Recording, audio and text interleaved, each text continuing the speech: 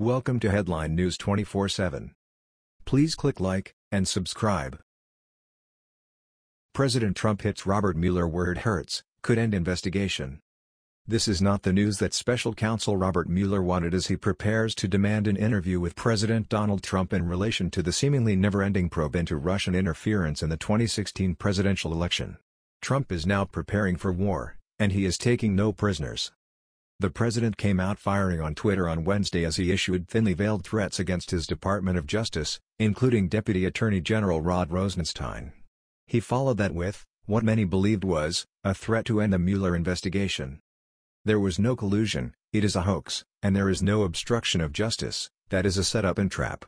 What there is is negotiations going on with North Korea over nuclear war, negotiations going on with China over trade deficits, negotiations on NAFTA, and much more. Witch hunt. He said in his first tweet. The questions are an intrusion into the President's Article 2 powers under the Constitution to fire any executive branch employee. What the President was thinking is an outrageous, as to the President's unfettered power to fire anyone.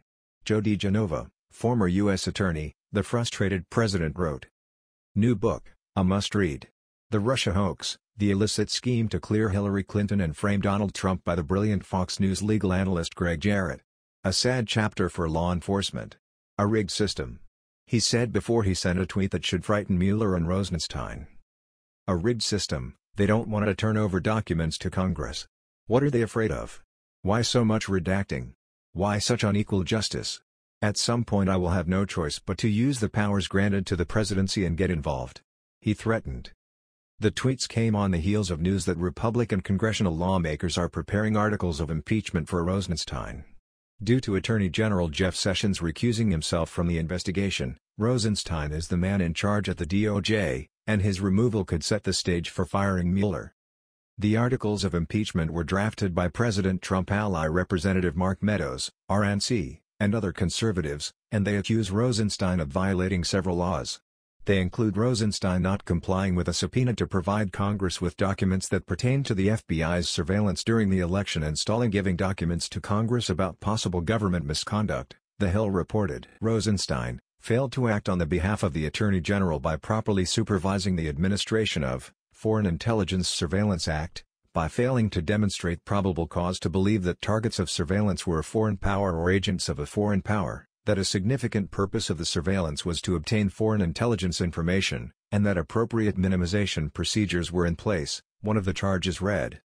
The fifth count claims that Rosenstein knowingly provided misleading statements related to his supervision of the initial Department of Justice investigation into the Trump campaign's alleged contacts with Russia when he testified under oath before Congress on December 13, 2017, that any involvement FBI Attorney Bruce Ohr had in the Russian investigation was without his knowledge. Rep.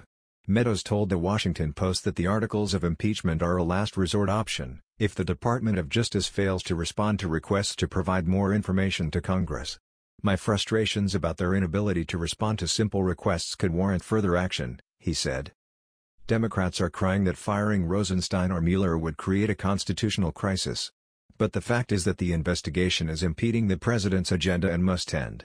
Democrats want it to go on as long as possible in order to affect the midterm elections in 2018 and, possibly, the presidential election in 2020. It is a game they are playing, and the president is now saying that the game is over. That was the news. We thought you might be interested in knowing about this. Please click like and subscribe. Thank you.